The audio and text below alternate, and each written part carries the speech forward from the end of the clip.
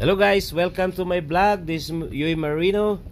And uh, guys, uh, as I mentioned on the part 1 of this video, uh, I'm gonna show you the actual video on how to check whether exhaust valves are turning or not. But first, I want to explain to you guys why do exhaust valves are designed to be turning. Of course, that's the first uh, thing to, to know. Guys, basically it is designed in order to have a lapping effect during operation between valve spindle and valve seat to prevent deposits coming from the combustion process. It also keeps the valve at an even temperature. In two-stroke engine guys, uh, valves are rotated by the winged rotator installed on the valve stem itself. As you can see on the valve stem guys, there there's something like a, a wing there installed uh, and then this is turned by the kinetic energy of our exhaust gases. Uh, these exhaust gases after the combustion process, it, it passes through these wings and turn the valve. Why do we need to know all this? It's simply because being an engineer, we must know the basic tool in addressing issues like uh, you, you, do troubleshooting. And that is why makers design this kind of arrangement simply because of that reason. That any issue pertaining to exhaust valves, the, the, the easiest and fastest way to check its uh, functionality is checking whether it's turning or not. And now comes to the main issue guys. How do we know whether valves are turning or not? That I am going to show you guys in the actual. So guys, let's go. That's the rotation indicator guys. The term of that is the rotation indicator but actually it serves two purposes. Uh, one is a rough indication whether your valve is opening or not. And the other one is the one I have mentioned earlier, the rotation indicator. And if you if you search it in the book guys it's it's termed as the rotation indicator okay as you can see guys uh, the the rotation indicator rod is moving up and down and it is imaginarily moving up and down with the spindle because uh, that rod guys is uh, installed just on top of the spring air cylinder piston now the question guys what will you check in relation to the rod movement or have you noticed so far guys any difference in its upward and downward movement? Actually guys, the rod indicator is not staying in a fixed position on its lowest and highest point as it moves up and down.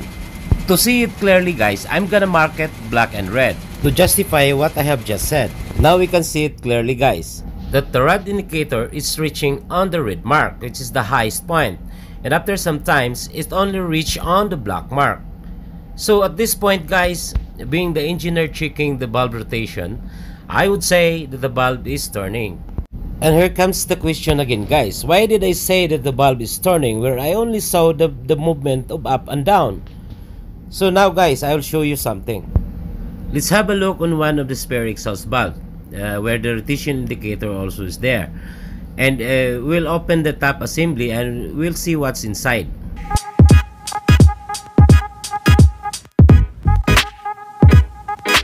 It's the exhaust valve spring air cylinder assembly guys. On top of it is the rotation indicator tip.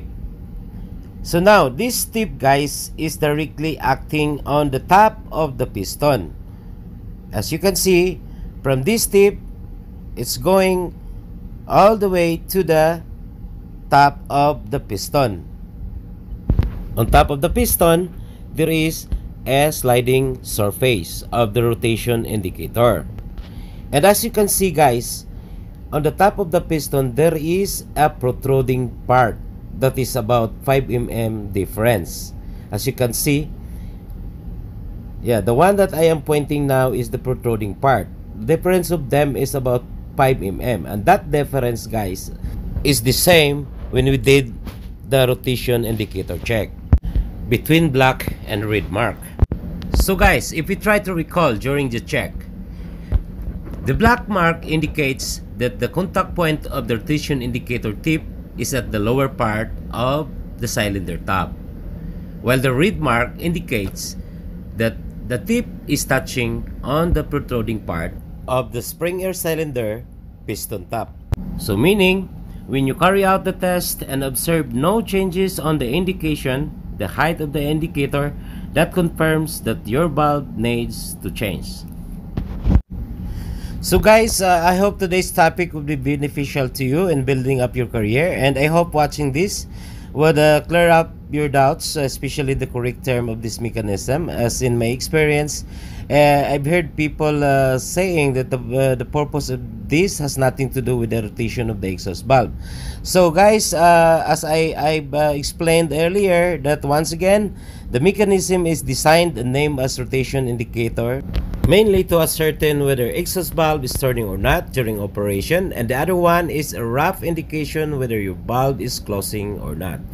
Okay guys, thank you for watching and uh, please subscribe and don't forget to hit the notification bell so keep you updated on my uh, upcoming videos. See you guys!